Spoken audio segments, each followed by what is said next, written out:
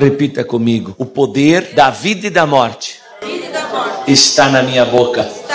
Terei palavras de vida e não de morte. Falarei de vitória e não de derrota. Falarei de conquista e não de retroceder.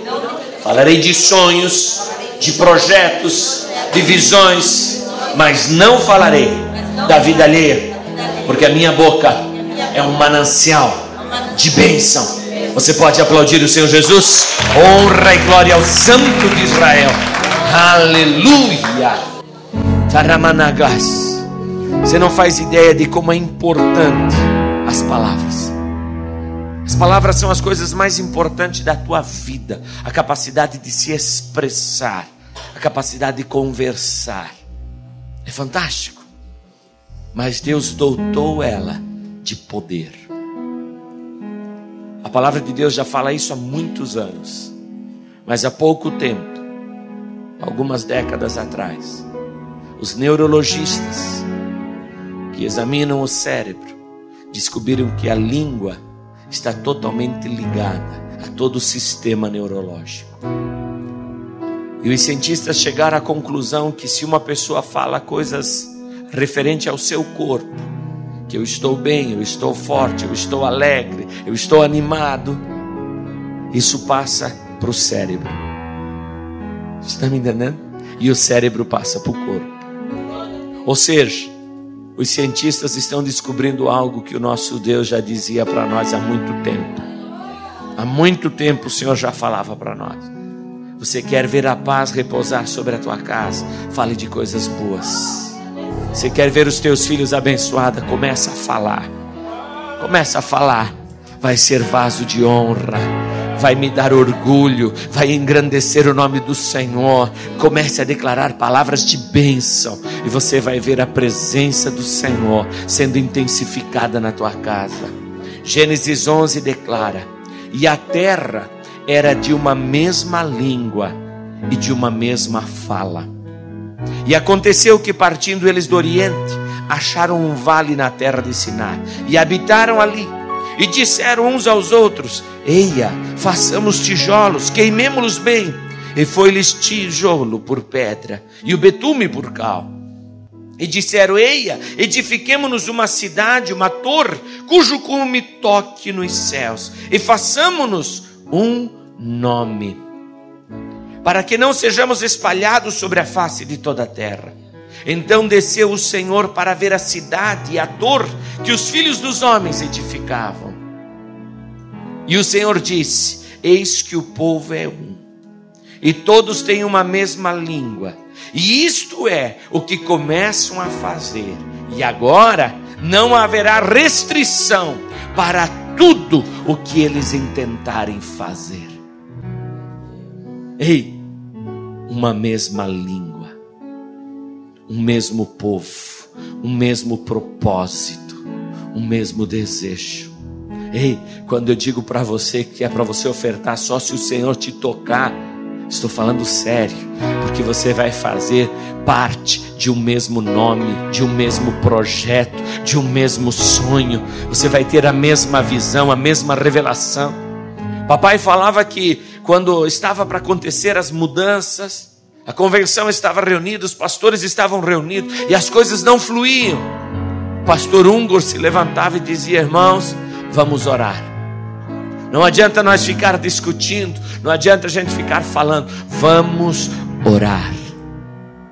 Não adianta você ficar discutindo com seu filho, não adianta você ficar discutindo com a sua esposa, vamos orar. E aqueles pastores dobravam o joelho e começavam a orar quando terminavam a oração, se levantavam e tudo ia para o seu devido lugar, porque tinham um mesmo espírito, uma mesma mente, uma mesma fala. Olha que coisa gloriosa! Você e o seu esposo concordando nas coisas, você e os seus filhos concordando nas coisas, puxando para o mesmo lado. Quem é que faz isso? O Pai das luzes. Derrama essa bênção sobre a tua casa, derrama essa bênção sobre o seu lar. Aqui na torre, eles cometeram um erro gravíssimo. eles não queriam Deus, diferente do que o pastor Enéas ministrava, aonde o povo de Deus diria: Nós queremos Deus, eles se levantavam em contra a Deus, eles não queriam Deus do seu projeto, eles queriam resolver a sua vida e deixar Deus de lado. E o Senhor diz: Não, e coloca neles línguas diferentes. E não se entenderam mais, porque um pedia uma coisa, o outro entendia outra, um falava uma coisa, o outro entendia outra, e se dispersaram sobre a face da terra. Mas você tem que gravar na sua mente e no seu coração de que quando a língua é a mesma, o pensamento é o mesmo, o povo é o mesmo, não haverá restrição para tudo o que intentarem fazer. Começa a orar ao Senhor e a dizer: Senhor, com quem que eu devo andar? Com quem que eu tenho que fazer aliança? Com quem que eu tenho que fazer pacto? Com quem que eu tenho que caminhar junto? O Senhor vai te revelar. E quando você estiver unido a esse grupo ao qual Deus tem um propósito, ao qual o Senhor tem um sonho, vai se concretizar. Não haverá restrição, não haverá dificuldade e você fará parte de algo maior. Charamasto Ramanagas. Deus resolveu mudar a história da humanidade. E a palavra diz que o Senhor veio fazendo promessa, irmão. Quando o Senhor te faz uma promessa, você deve se apropriar dela, se apropriar dela com toda a tua fé. Hum. Já Joel dizia: Eu derramarei do meu espírito sobre toda a carne, vossos filhos, vossas filhas profetizarão. Aramaste Managai. E o povo estava reunido, esperando. Ei, querido, não seja ligeiro em tomar decisão, espera no Senhor. Se o Senhor disser que não vai, não se mova, faça como o povo de Israel, diga: não, não, não. Se o Senhor não vai, nós não saímos daqui. Mas agora, se o Senhor vai na nossa frente, então nós te acompanhamos. Lebanios Saramagasuimas. Deus quer mudar a tua história. Tem pessoas que são sanguíneas, tomam a decisão rápido, são ágeis em fazer as coisas. Ei, tenha paciência. Vá devagar, mas vá sempre. É, o coelho vai tão ligeiro, mas dura tão pouco, né? A tartaruga vai tão devagar e passa de 300 anos. É absurdo. Está me entendendo? Ei, não importa a tua rapidez, importa é a firmeza que você caminha. Importa é a firmeza que você caminha. Ei, não se preocupe em receber uma grande bênção, se preocupe em receber bênçãos todos os dias, todos os dias, bênção sobre bênção, bênção sobre bênção, graça sobre graça, vitória sobre vitória. Ananagasui managas. Ah. No tempo de crise financeira na minha congregação, eu estava construindo a minha casa. Não tinha dinheiro para pagar um pedreiro. E não sou um trabalhador, braçal não sou. E todos os dias eu ia lá para a minha obra e assentava uma fileira de tijolo. Sabe o que é uma fileira? Não é nada, irmão. Os, os vizinhos riam de mim, irmão. Riam. Eles achavam graça que o pastor vai lá e assenta um tijolinho, assenta uma fileirinha e vai embora. Eu não aguentava mais, irmão. Aí passava dois dias enfebrado. Claro, irmãos, pega na minha mão, nem cala não tem. Mas sabe de uma coisa? A minha casinha tem 120 metros e está de pé. Sabe por quê? Porque eu tive paciência de eu mesmo pôr o tijolinho, pôr o outro, pôr o outro, pôr o outro. Ei, você não precisa ser rápido, mas você precisa ser constante, constante, constante. Você vai ver a graça do Senhor se derramar sobre a tua vida. Tô mês a mês dizimando, ofertando. Aonde está a bênção? Ei, ei, a bênção é muito maior do que você pensa, não é uma questão financeira, você está caminhando para o céu, a graça do Senhor está sendo derramada, a vitória do Senhor está sobre o teu lar, teus filhos vão caminhar no caminho do Senhor, serão livres da droga, serão livres da promiscuidade, terão vidas abençoadas, por quê? Porque você firme, palavrinha, palavrinha, palavrinha, palavrinha, ei, de palavrinha em palavrinha você se tornou torre forte, torre forte, torre forte. Banaste com manai. Se alegre, suporte a lentidão do dia. Hum. Mas Deus tinha um projeto maior, e a Bíblia diz que Ele derramou do seu espírito. E veja o que, que diz o texto, verso 9, Atos 2 e 9.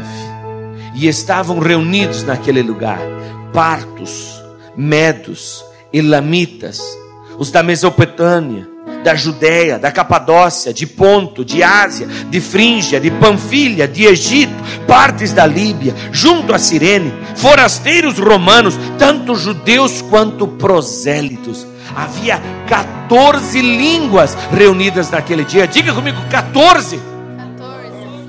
E os que falavam, que falavam de Deus, que profetizavam, eram todos galileus, nascidos lá eles não tinham 14 idiomas, mas quando eles saíram do cenáculo, falavam em outras línguas, ou seja, começaram a distribuir uma mesma língua, um mesmo espírito e um mesmo projeto. Há um projeto de Deus global e você está incluído nele. Ele te deu novas línguas, ele te deu o um mesmo espírito, ele te fez participante de um mesmo povo e ele está vindo buscar esse povo que tem um mesmo mesmo espírito, que tem uma mesma língua. Querido, usa aquilo que Deus te deu. Paulo disse que falar em línguas edifica-se a si mesmo.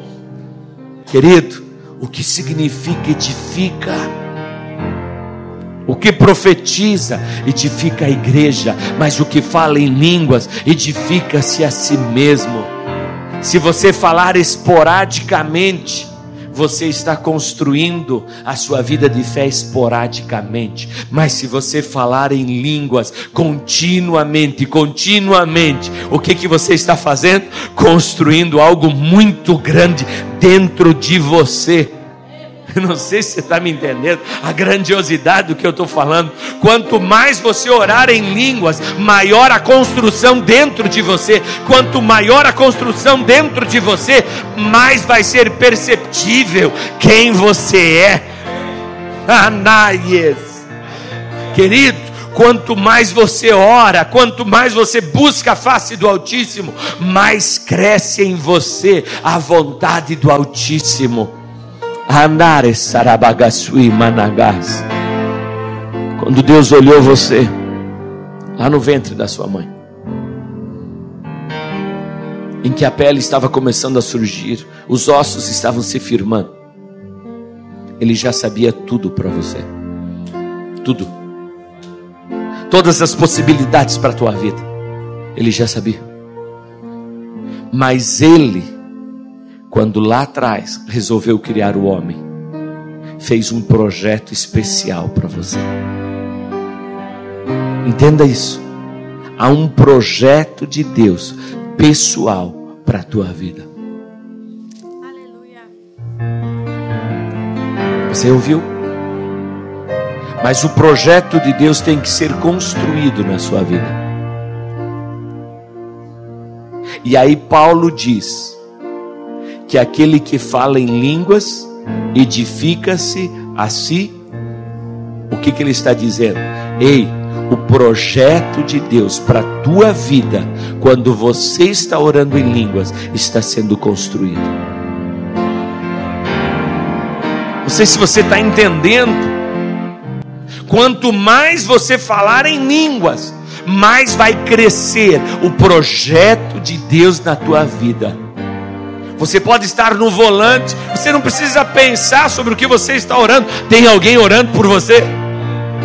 Você pode estar cozinhando, você pode estar limpando, trabalhando e orando em outras línguas. Sabe o que é fantástico? Não foi nenhuma nem duas vezes que eu já acordei falando em línguas. Sabe por quê? Até dormindo você pode falar em línguas. Você pode sonhar que está falando em línguas. Se você der liberdade ao Espírito Santo, vai haver uma construção tão grande na tua vida, tão grande, que aquilo que o Pai das Luzes projetou para a tua vida vai se concretizar. Toda a tua estrutura vai mudar. Não, querido, não é quando você sente a presença de Deus que você vai orar em línguas. Não é quando você está feliz que você vai falar em línguas. Ei, ei, ei. Ele é aquele que até com gemidos inexprimíveis intercede por você. Sabe o que, que isso quer dizer? É quando você está cansado, afadigado, triste, para baixo, não tem palavras para falar, e aí você começa a orar em outras línguas e diz: Ora por mim, Espírito, ora por mim, porque eu não tenho forças. Anda managat. Você vai orar em outras línguas. Os dons espirituais vão florescer. Todos os grandes homens de Deus da história, irmãos. E sabe o que é fantástico? Falavam em outras línguas. Pessoas que fizeram a diferença dentro da igreja católica, irmãos. Todos eles. Santo Agostinho, Francisco de Assis.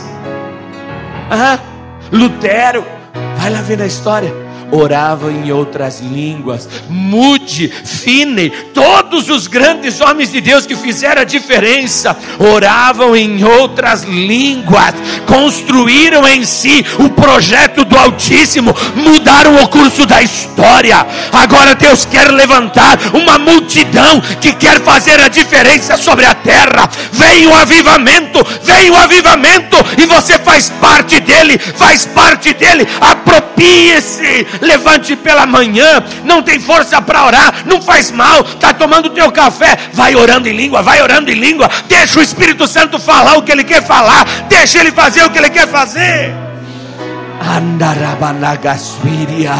Ele vai mover aonde você não vê, Ele vai tocar aonde você não sabe, Ele vai trazer revelação para a tua vida que você nem sabe que está errado na tua vida, vai mudar a tua história. Os sinais, os prodígios vão começar a correr através de você. Sabe, irmãos, muitas vezes as pessoas leem a Bíblia e interpretam de uma maneira. Paulo disse: de que adianta falar mil palavras, dez mil palavras, em línguas inteligíveis. Não é isso que ele diz? Não é melhor falar palavra de sabedoria? Ei, ele está dizendo quando você vai falar para o teu irmão. É melhor você ter uma palavra que esmiuça a penha. É melhor você ter uma palavra rema. É melhor você ter uma palavra de conhecimento, uma palavra de sabedoria para o teu irmão. Mas para você é melhor você falar em outras línguas porque ele mesmo, Paulo, que escreveu 13 livros dos 27 do Novo Testamento, diz: Eu falo em línguas muito mais do que todos vós. Sabe o que ele está dizendo? Eu sou o que mais ora em línguas, e quem foi o que fez mais? Ele. Quem foi que fez mais? Ele. Então fale em línguas, fale em línguas. Deseje que o teu filho seja batizado com o Espírito Santo. Deseje que os teus netos sejam cheios do Espírito Santo.